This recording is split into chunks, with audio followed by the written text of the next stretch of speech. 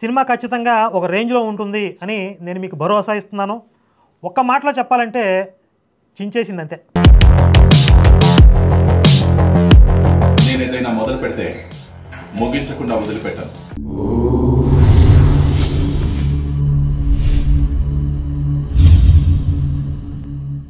అందరికీ నమస్కారం.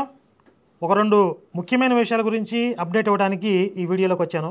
మొదటి విషయం ఏంటంటే ఇటీవలే విడుదలైనటువంటి ఒక పాస్టర్ గారి గర్వాప్సి విషయం. ఆ ప్రోమో అప్లోడ్ అయిన తర్వాత కాసేపటికి దాన్ని డిలీట్ చేసి మళ్ళీ తిరిగి అప్లోడ్ చేయడం జరిగింది.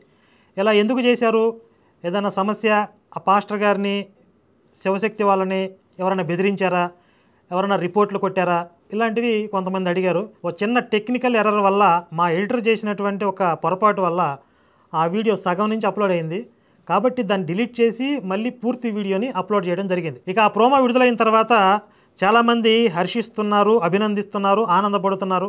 అయితే అక్కడక్కడ కొంతమంది మన మిత్రులే శ్రేయోభిలాషులే కొన్ని కామెంట్లు చేస్తూ ఉన్నారు. ఒక ఇరవై ముప్పై సంవత్సరాలు మాస్టర్గా పనిచేసిన వ్యక్తి తిరిగి హిందుత్వంలోకి రావడం ఏంటి? అంటే ఇదేదో శివశక్తిపై జరుగుతున్నటువంటి కుట్రలా ఉంది. కాబట్టి కాస్త జాగ్రత్తగా ఉండండి అని చెప్పి మన మిత్రులే కొంతమంది చెప్తూ ఉన్నారు. ఈ విషయం మీద నేను కొంత వివరణ ఇవ్వాలనుకుంటున్నాను. ఈ పాస్టర్ గారు నేను హిందుత్వంలోకి రావాలనుకుంటున్నాను అని మాకు చెప్పి మమ్మల్ని కాంటాక్ట్ చేసి సుమారుగా ఒక ఆరు నెలలు అవుతుంది. నేను నా ఫేస్బుక్ ఐడిలో ఒక ఆరు నెలల క్రితమే ఒక పోస్ట్ పెట్టాను. రెండు చర్చిలో ఉన్నటువంటి ఒక పాస్టర్ గారు గర్వాప్సి అవ్వబోతున్నారు అని చెప్పి.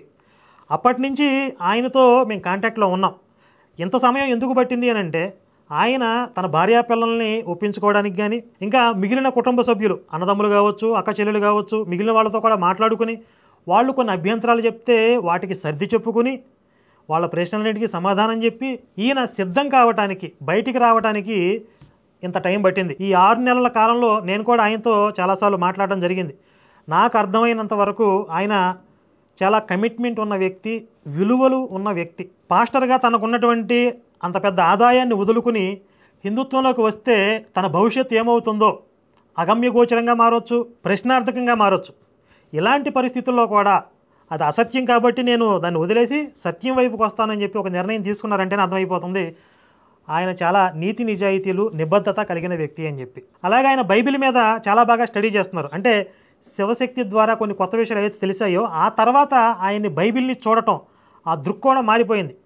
అప్పటి నుంచి ఇంకొంచెం పరిశోధనాత్మకంగా ఇంకా లోతుగా బైబిల్ స్టడీ చేసి కొన్ని పాయింట్లు కూడా సార్ ఇగో నేను సేకరించినటువంటి లోపాలు బైబిల్లో ఈ విషయాల మీద కూడా చాలా లోపాలు ఉన్నాయి దీని మీద కూడా మనం మాట్లాడవచ్చు అని చెప్పి ఆయన తనంతట తానుగా పరిశోధన చేసిన విషయాలను కూడా నాకు చెప్పడం జరిగింది కొన్ని విషయాలు. మరి ఇంత కమిట్మెంట్ ఉన్న వ్యక్తిని ఇంత అవగాహన పరిశోధన చేసే మనస్తత్వం ఉన్నటువంటి వ్యక్తిని మనం వదులుకోకూడదని చెప్పి ఆయనకున్న సమస్యలు తొలగిపోవడంలో మనం కూడా కాస్త మొరలుగా మద్దతునిస్తూ వాళ్ళ కుటుంబ సభ్యులకు ఉన్నటువంటి ఆ సందేహాలను తీర్చడంలో కావచ్చు తన భవిష్యత్తుకి సంబంధించినటువంటి కొన్ని విషయాలకి సంబంధించి చర్చల్లో కావచ్చు మన వైపు నుంచి కూడా కొంత స్పష్టత ఇవ్వడం జరిగింది. ఆ తర్వాతే పబ్లిక్లోకి రావడం జరిగింది. అయితే పూర్తి వీడియో ఇంకా రిలీజ్ అవ్వలేదు. ఆ పూర్తి ఇంటర్వ్యూలో మీకు చాలా విషయాలు తెలుస్తాయి. అయితే కొంతమంది అడుగుతూ ఉన్నారు మరి ఈరోజు వీడియో రావాల్సింది కదా ఆదివారం కదా? ఎందుకు విడుదల అవ్వలేదు? అని చెప్పి కొంతమంది కాల్స్ చేసి మరీ అడుగుతూ ఉన్నారు. మేము ముందుగా ఆదివారం రిలీజ్ చేద్దామని అనుకున్నాం. కానీ మాకున్నటువంటి కొంత బిజీ షెడ్యూల్ వల్ల మారిన కొంత పరిస్థితుల వల్ల ఆయన కొన్ని ఒత్తిళ్ళు ఉన్నాయి. అవన్నీ చక్కబెట్టుకుంటూ ఉన్నారు. ఇంకా కొంత టైం పడుతుంది.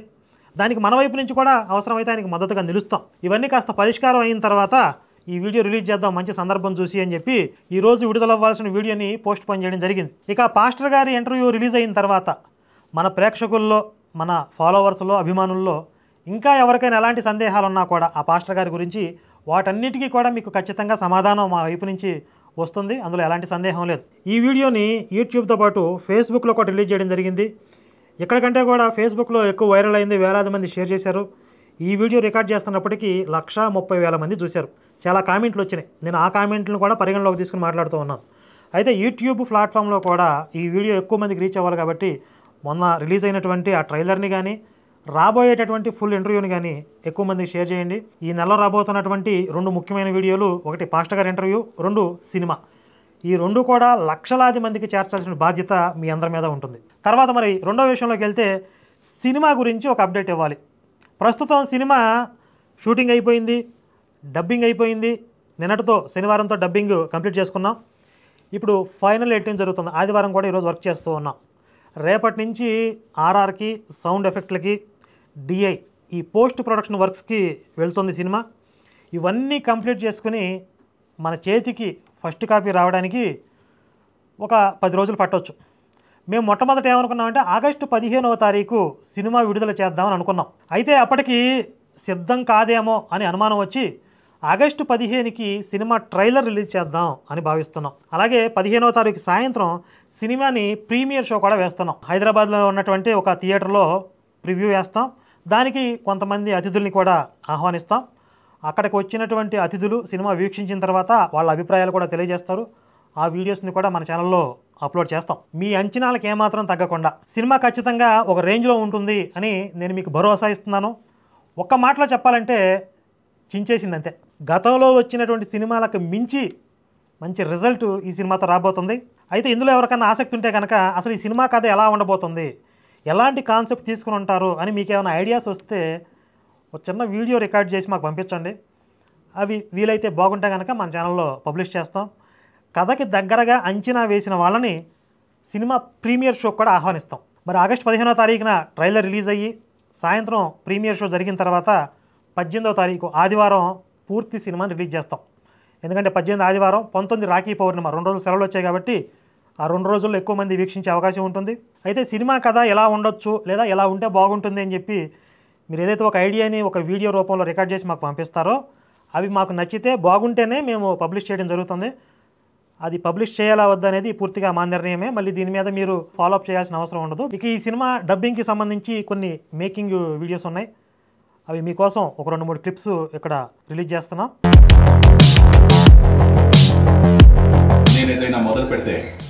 ముగించకుండా వదిలిపెట్టాను.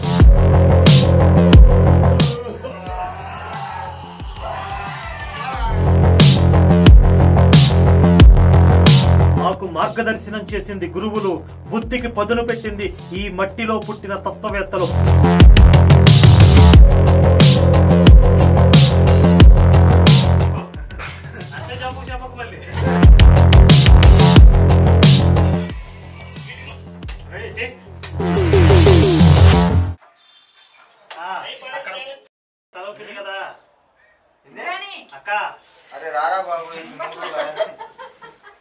ఇవి క్లుప్తంగా నేను చెప్పదలుచుకున్నటువంటి రెండు విషయాల గురించిన సమాచారం.